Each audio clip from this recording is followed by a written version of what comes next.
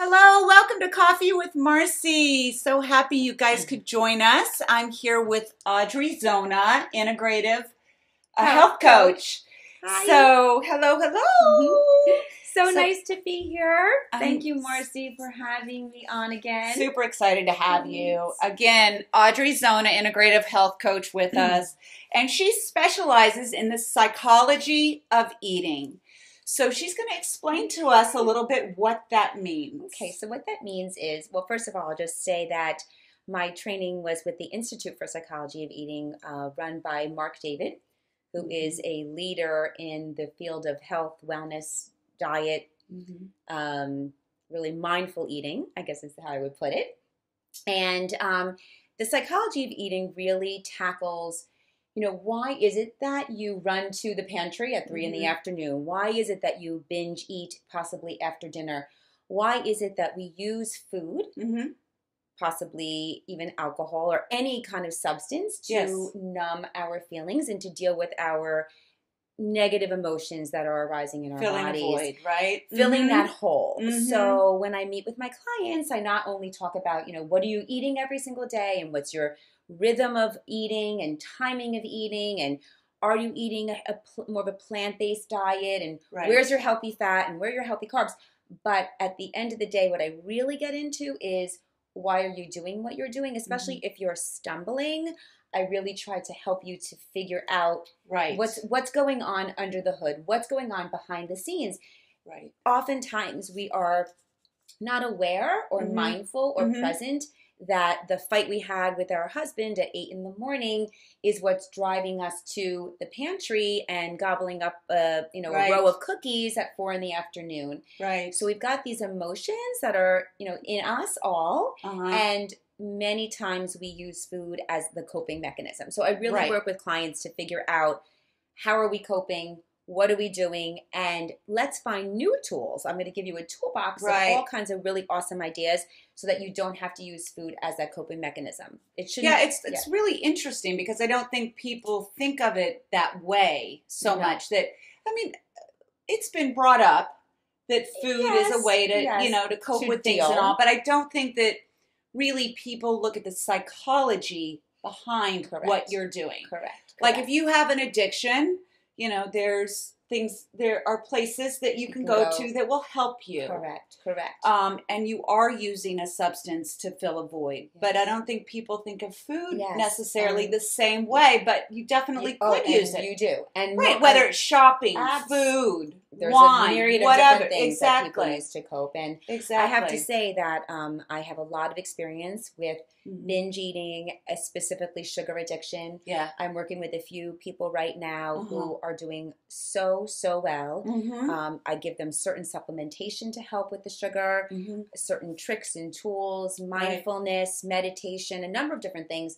And it's it's it's really miraculous the, Yeah. the changes and the shifts that they are making in their lives. And understanding why your body actually craves it. Mhm, mhm. right? And sometimes, you know, it's beyond just like willpower. Yes. And we do have certain bacterias that will reside in our gut. So Mhm. I'm sure many of you have heard of candida, and there's Mhm. other different bacterias that will stimulate the, the I call them the bad guys in Yeah. your gut flora. yeah. So if you don't have a healthy gut mm-hmm. and you have what they call dysbiosis, where you have too many of the bad guys and not enough of the good bacteria, right. They crave sugar. They live on sugar. Interesting. So the more sugar you eat, the more Yes. they thrive and the more they want and the more Mhm. sugar you eat. So it's like this vicious How cycle. interesting is that? That, That- you like are feeding bacteria You- in your stomach. you that your body is actually craving it for that reason. That is why Mhm. is the little changes add up to huge lifestyle changes. right. So the baby steps that you're taking by drinking more water, Mhm. drinking water like it's your job, Mm. and Mhm. having more greens every single day, and having Mhm. making sure you're having a big salad with your lunch and your dinner, Mhm. and doing Sunday meal prep and roasting all your pans of vegetables yes. and having your hard boiled eggs done in your fridge. Like all of these prep things that Right. I talk about, right. those little changes that you incorporate every week. All of a sudden you're going to turn around six months later, it's going to be habit. right. It will be so habitual you won't even realize that you've made all of these lasting changes. So And um, one of the other things that I know that's important to you is um, being mindful of how you eat, when you eat. Yes, yes, Um, yes. So why don't you tell us a little more about that? Yeah, so um, you know, I always start with clients and Mm-hmm. ask them to kind of take a deep breath before they start their meal Mhm. to settle down. I find that when you can kind of get in your body and you're embodied Mhm. and present, Mhm. you can be so much more mindful with the food choices that you're making. Yeah. You can allow there you can create space Mhm. for decision making. Mm. And oftentimes we are in such a rush. So just taking a pause. It's taking a pause, Uh-huh. hitting that pause button. And that's why I really do encourage all my clients to be meditating, even if it is just for 10 minutes a day. yeah. What meditation does, I mean, it's proven Mhm. to change the gray matter of the brain. Meditation allows you to have space Mm. to think clearly, Mm. to have a neutral mind, Okay. to hit the pause button before just reacting. Okay. And you might actually put something down on the dinner table and question Do I even like that? right. Do I even want that? Or am I even hungry? Mhm. We're so on autopilot, Marci, right. that we don't take the time to nurture ourselves that way. Yeah. So I oftentimes will say to the client, before you start your meal, I know Uh-huh. it's challenging, but close your eyes, take a couple of deep breaths, and kind of just get in your body. Mhm. Am I hungry? What do I really want? Right. What am I going to have? What am I going to start with? And and and tune in to the hunger signals. Right. Sometimes those hunger signals are really emotionally hungry. Mhm. Your emotional hunger is really Mhm. what's growling and not your stomach. Yeah. So, mindfulness, awareness Mhm. is a huge piece of what I do with my clientele because when you become aware and mindful, that's when you can take the pause.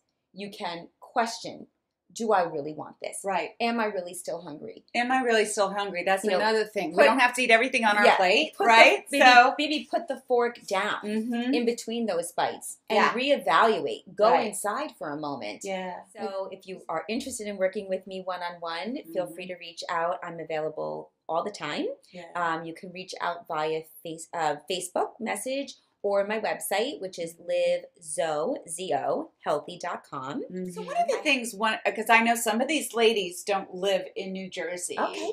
Could they do this? Yes. Uh, via Zoom yes, or absolutely. Skype or? So I work via Zoom. Uh huh. Um, I have clients that I work with on Okay. Zoom, so not a problem. So you don't have to be. Look, at we're like right here. Can be Right. talking to you. exactly. It's like you're in my living room Right. and uh, happy to work phone conversations or Zoom, whatever works Mhm. best for you. Yes, All right, absolutely. guys. This is wonderful. So. Yay. And you you gave your website information. Again, Yes. we'll put that Yes. up. And I can't thank you Okay. enough Thank for you for all having of this. me. It's been such And- a pleasure. Yes, and thank you all for joining Okay. Coffee with Marci. Okay. And just you can Perfect. also go to my website, which is just Marci Hopkins. So Okay. www.marcihopkins.com Great.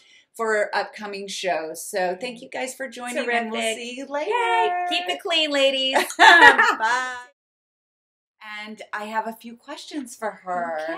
So the first question, what have you accepted within Mm. your life, physically and or mentally? We'd love to know what you're still working on accepting. Okay.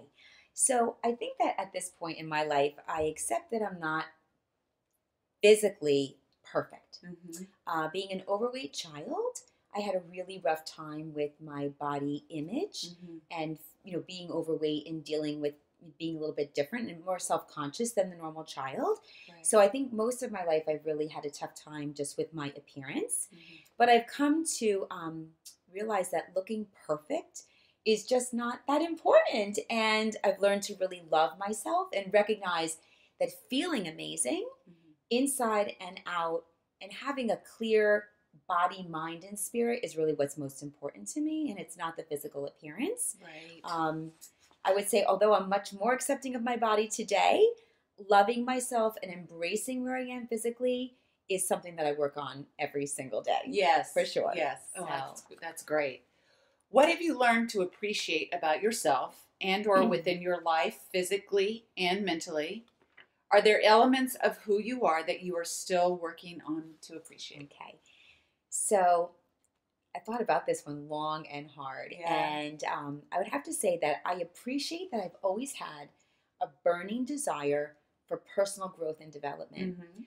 Uh, for years, I was like that girl who was always searching for the next thing, looking for more. I always had this passion Mm. kind of burning in my belly, and I really didn't know what that was. Mhm. Not sure where it would take me, but my strong desire to really help people and Mm-hmm. share my knowledge for Yes. health and nutrition and wellness and energy healing and all of those things really kind of kept me going. Mm. Um, I appreciate that part of myself. I'm glad that I was that girl, always looking for that next thing to kind of yeah. fill me up because it's led me to where I am today. Exactly. I mean, it's made me who I am today.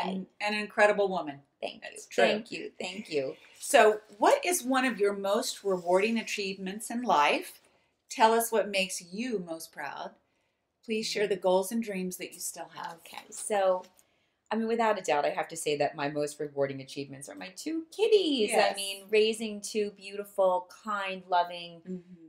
Beautiful souls. Like Mhm. that's the best in in life. Yeah. Um, aside from my two children, um, I'm really proud of the business that I've been building over the past couple of years and the work I've put into my training Mhm. and the difference that I'm making in my clients' lives. Yeah. That just to me is the greatest gift of all. Mm. I, I love that I'm able to help them and guide them and support them, Mhm. and that they're now living their most beautiful, fulfilled lives with the help and coaching that I'm offering them. yeah. So that's really what I'm very, very proud of. And in terms of my my um, dreams and goals, Mhm. I'm really hoping to just build the business, continue, Continue the business, build. continue Yes. to have one-on-one coaching, continue to have group coaching, Mhm. and continue my seminar business. I love bringing um, information Yes. in, in regards to health and wellness, women's Mhm. health and wellness more specifically, Right. to the community. Which is how you are helping and a gift to us too. So it's been wonderful, and I hope to just you know expand upon that. of course, So- of course, keep doing what you're doing. Yeah, thank you. We all have imperfections, so we think.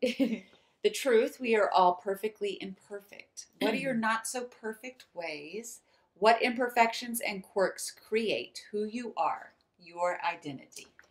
Well, I would have to say that my imperfection has always been really trying to control situations and Mhm. circumstances. Mm-hmm. Um, always working hard at really trying to make something happen. Mm-hmm. And what I've learned through the years is to really just hand it over to the universe. Yeah. Really just trust Uh-huh. that I will be taken care of, I will be Mhm. protected, and um, just kind of give up the control. Yeah. And I have to say, wow, what a big difference it is to live from that place of surrender Mm-hmm. and letting go and Yes. just letting letting things just sort of organically happen for you. Mm-hmm. Um, it's been such a gift to let go. Now, when something happens that I'm unhappy about, I just say, just let it be. What what will be will be, and it Right. always works out so Right. well. And it's such a, a much better place to live. From, I know. We're really From- not in control of it, right? No, like my mother would always say, "You make plans and God laughs." I like that. I like that. So I always try to kind of remember that. yeah. Um, oh, that's a good one. and life is just much more enjoyable and stress free when you can Mhm. just kind of roll with it I agree. and not get all caught up in the control piece. yeah, absolutely. I and in we terms ladies kind of have that. And in terms of my quirkiness, um, I had a hard time with that. Mhm. I um, I don't really know. I guess I guess my I would have to say my nonstop smiling. yeah. I, I'm a smiley person, Uh-huh. and I that's sort of where I go to when I'm maybe a little uncomfortable.